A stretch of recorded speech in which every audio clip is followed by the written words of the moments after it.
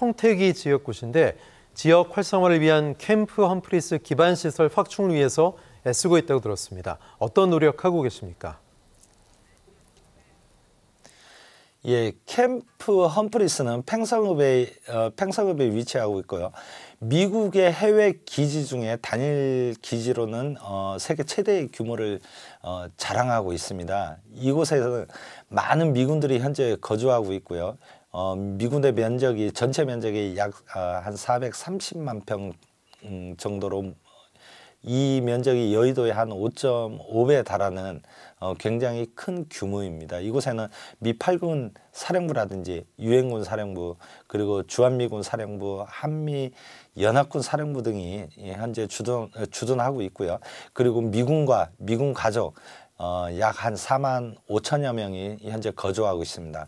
한국의 작은 미국의 도시라고 어, 불릴 정도로 규모가 큽니다. 그렇지만 미국과 한국인이 공존할 수 있는 그런 인프라가 지금 매우 부족한 실정이고요.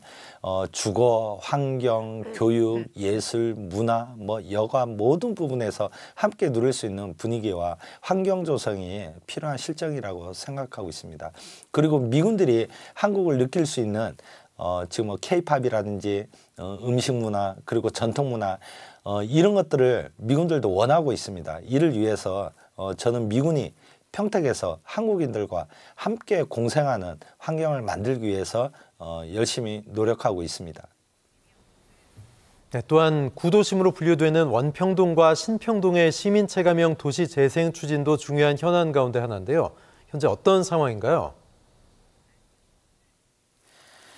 예, 평택역과 평택 시외버스 터미널 그리고 고속버스 터미널에 있는 원평동과 신평동은 어, 경기도 남부권의 교통 중심지입니다.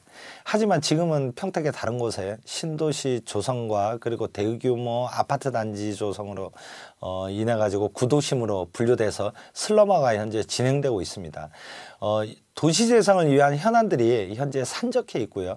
도시 재생 사업은 어, 이런 기간이 정해져 있는 사업이다 보니까 그리고 거점 시설과 일부 기반 시설을 정비한다고 지역이 활성화되는 것이 아니기 때문에 지원 사업이 끝나더라도 해당 지역이 지속적으로 성장할 수 있는 그런 출구 전략이 필요한 사업이라고 볼 수 있습니다. 그렇기 때문에 경기도 차원과 평택시 차원에서 해당 문제를 해결할 수 있도록 시민들과 함께 도의원으로서 역할을 찾고 그리고 시민들이 체감할 수 있는 정책과 사업이 만들어질 수 있도록 노력을 열심히 하도록 하겠습니다. 네, 평택 고덕동에는 세계 최대 반도체 생산 시설을 갖춘 삼성전자가 들어와 있죠. 고덕 신도시가 3단계로 나뉘어 있고 현재 2단계까지 완성됐지만 앞으로도 해결해야 될 문제들이 많다고요.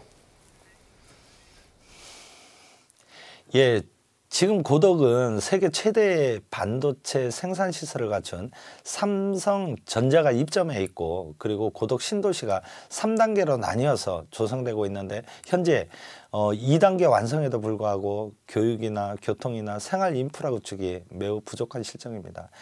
어 삼성 산단으로 인해서 많은 인구의 유입이 있었음에도 불구하고 교통이나 주차, 상업시설 등이 턱없이 부족해서 도시의 질서가 무너질 정도로 불편을 겪고 있습니다.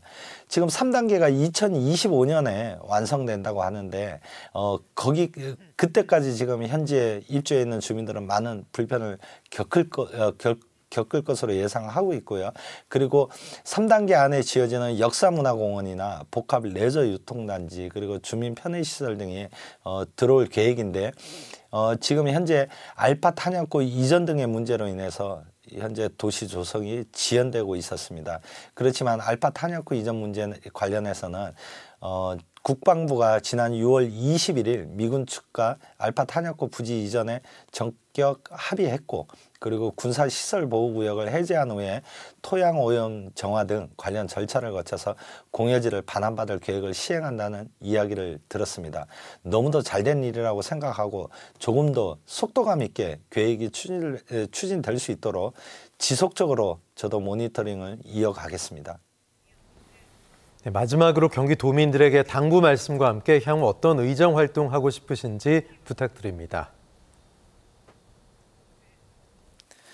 예, 경기 도민 여러분, 저는 도의원에 출마하면서 어, 사회복지 분야의 여러 경험을 바탕으로 소외계층과 약자 그리고 상대적으로 소외되고 있는 지역들의 온기를 불어넣겠다고 다짐했습니다. 정치인들에게 보여주는 모든 결과물들이 도시의 성장을 목표로 이루어지는 양적 성장과 관련된 일들이 많이 있습니다. 이러한 양적 성장에 몰입되어 있다 보니 우리의 삶의 질을 향상시킬 수 있는 많은 부분들을 놓치고 있다고 생각합니다. 그래서 저는 양적 성장도 중요하지만 질적 성장도 함께 동반 성장할 수 있는 생활 정치를 하고 싶었습니다. 그래서 온기라는 단어를 떠올리게 되었고 늘 머릿속에는 부모들이 생각하는 진짜 양육과 보육 그리고 학생들이 생각하는 진짜 그들의 미래 그리고 주민들이 바라는 진짜 행복 지역에 필요한 진짜 상생을 위해 부족하지만 어, 1년 동안 열심히 뛰었다고 생각합니다. 아직 부분한, 어, 부족한 부분이 많이 있습니다. 더 노력해야 한다는 점을 저도 잘 알고 있습니다. 그렇지만 경기도민과 평택 시민을 위해 그간의 경험과 전문성을 토대로 소외계층과 약자가 함께 상생할 수 있는 도시가 될 수 있도록 늘 정의로움으로 변화의 작은 불씨가 횃불이 될 수 있게 하겠습니다. 늘 어려운 사람들과 어려운 곳에는 제가 있음을 경기도민과 평택 시민이 알 수 있도록 늘 공감하면서 낮은 자세로 더욱더 최선을 다해서 열심히 하도록 하겠습니다. 네, 지금까지 김근용 경기도의회 의원과 말씀 나눴습니다. 의원님 고맙습니다. 예, 감사합니다.